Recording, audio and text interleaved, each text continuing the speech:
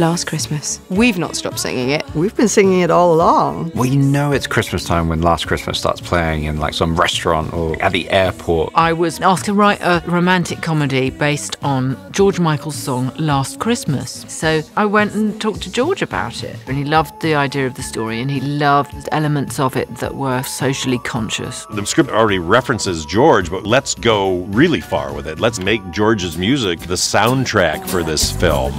We are incredibly lucky to be able to have some of his music in this movie. We feel very fortunate, very privileged, very blessed to have George Michael be part of this. For fans of George, they'll get to re experience his music in this new way. It just brings such another layer to this film. But that's the power of George's music. Oh, yeah, this is your favourite song. That was so psychic.